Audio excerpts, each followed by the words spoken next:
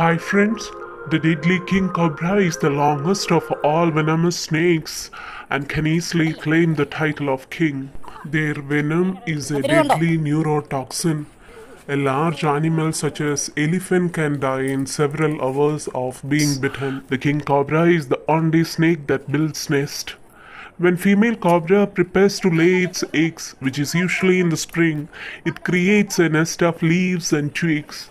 Even though king cobras can swing quickly and climb trees, they are still prone to attacks from other reptiles and animals. In the wild, these snakes can live for more than two decades. So friends, save the king cobra. Do not purchase products that come from endangered species. Thank you.